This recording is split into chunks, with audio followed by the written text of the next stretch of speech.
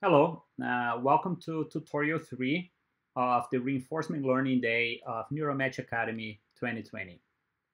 My name is Marcelo Mattar, and I'm an assistant professor of cognitive science at the University of California, San Diego. I'm actually a big fan of this intersection between neuroscience and reinforcement learning, so I'm very excited that I'll get a chance to tell you a little bit about it. So this tutorial will continue addressing that very important question that is how do reinforcement learning agents learn to act? But while in the previous tutorial we saw how agents learn to act in the bandit setting, in this tutorial right now, we're actually going to see how agents learn to act in the more general setting of Markov decision processes. I will unpack what I mean by that in a second, but just to give you a high-level overview, the distinction has to do with what's the effect of an action. In bandits, the agent had no control over the state of the world. An action would just lead to a, a reward in the moment. In MDPs, however, the agent's actions may influence the future states of the world, and that little change actually has pretty big consequences. But let me unpack first what I mean by that. If we go back to the diagram, that we've been using to understand the reinforcement learning problem, we see that the agent selects and executes an action AT, and the environment in turn responds with a resulting state as t plus 1 and a resulting reward rt plus 1.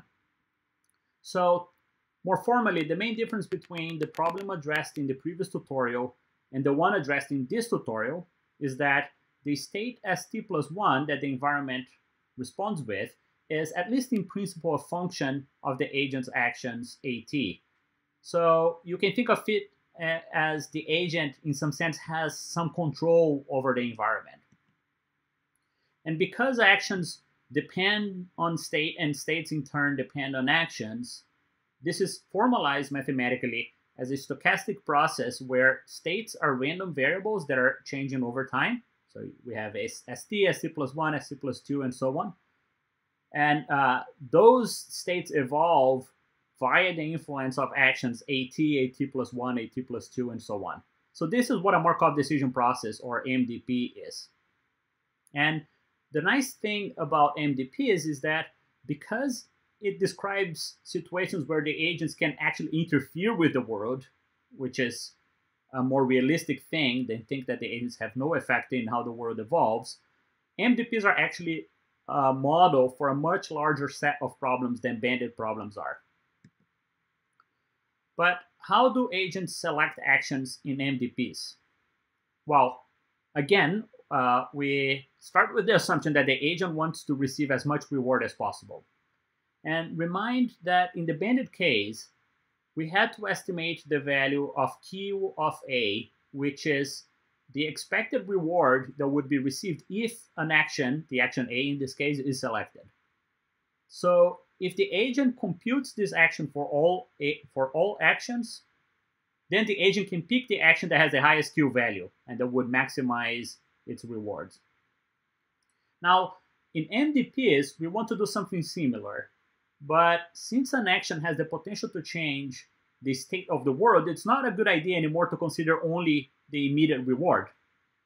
This would be a bad idea, for example, uh, if the agent chose an action that leads to a high reward in the moment, but then leads it to a bad state.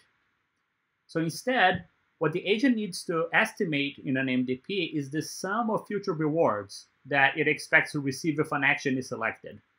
Now, notice that this function Q of SA also depends on the state and that's because the same action can have different values depending on the state that it is executed.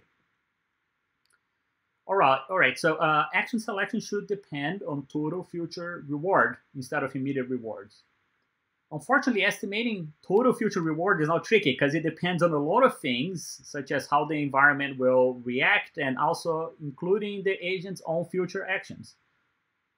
So, as you saw in the intro lecture, given by Doina Precup. One solution here would be to use the Bellman equation, which gets around this tricky issue by estimating the value of an action recursively. What this means is that you can estimate the sum of future rewards as the reward you would receive immediately plus the sum of future rewards that you can receive starting from the next time point. Notice, however, here in this uh, equation that uh, future rewards are discounted by gamma, and that's that discount factor that we've learned about already in tutorial one. So that's the general idea behind acting in MDPs. Now in this tutorial and in the exercises that you're going to start shortly, we will implement this idea with one of the most famous reinforcement learning algorithms for acting in MDPs. That's called uh, Q-learning. In Q-learning, in each time step, the agent chooses an action A based on the uh, agent's current estimates of the value of that action, which is formalized as Q of SA. So the agent then executes whatever action he chooses, and then uh, the environment responds with S prime and, I, and R, and then the agent observes that resulting reward in state. Once the agent observes that resulting reward in state, it can then update its estimate of the value of the action that was taken. And this is done by nudging the value of QSA towards its new estimate, which is given by this quantity shown here in the uh, purple square. It's R plus gamma times the maximum value available in the subsequent state S prime. Now notice that the degree to which these estimates are nudged or updated at each time step is specified by this parameter learning rate denoted by alpha. So in the exercise that you're going to start shortly, you will implement a reinforcement learning agent that learns how to act using Q-learning.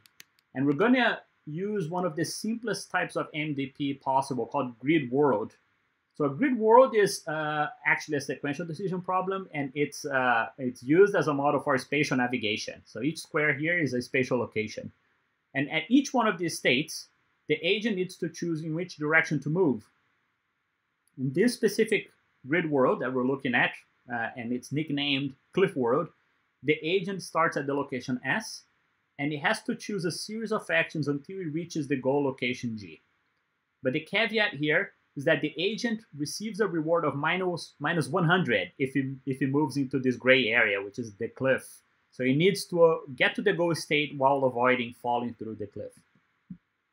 And you should see that if you implement things correctly, uh, Q-learning specifically, uh, the agent should learn that the best action to execute in state S is to go north, and then in order to reach the goal in the fewest number of steps, the best action will be to walk along the edge of this cliff, followed by uh, an action going south uh, to finally reach the goal.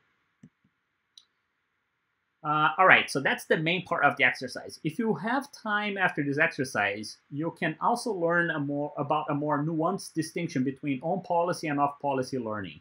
Oh, there's nothing difficult about this distinction. I'm going to give you a little bit of an idea uh, so you're ready for the exercise. So the idea is that even though we use the Bellman equation, which helped us formalize recursively the value of an action in terms of future actions, we still need to specify how to compute the value of those next states. In off-policy methods, those estimates are not based on the agent's current policy. In fact, most offline uh, off-policy methods often estimate the value of the next state under the assumption that the agent will behave optimally, which may not necessarily be the, the agent's actual policy.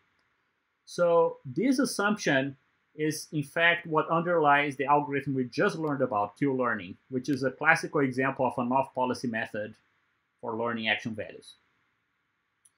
In contrast, in on-policy methods, these estimates of the value of future states are instead based on the agent's own current policy. So this means that the value of the next state is determined by assuming that the agent will execute an action in the next state that comes from the same policy that the agent is current, currently mm-hmm. following.